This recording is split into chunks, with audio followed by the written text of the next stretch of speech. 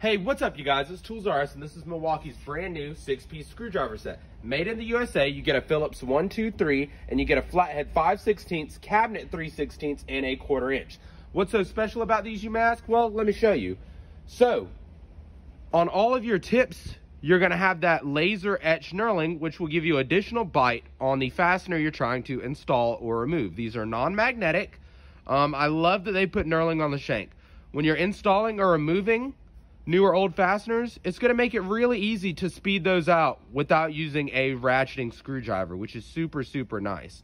For additional torque, you guys, on your largest flathead and Phillips, they have a wrench insert down at the bottom of your shank closest to the handle. So you can throw a wrench on there, get some additional torque, or they also have these holes, which I'm assuming you could just throw an Allen key through there, use it as a T-handle, or use them to tie your tools to yourself if you're working in high areas. But if you guys have these screwdrivers, let me know what you think of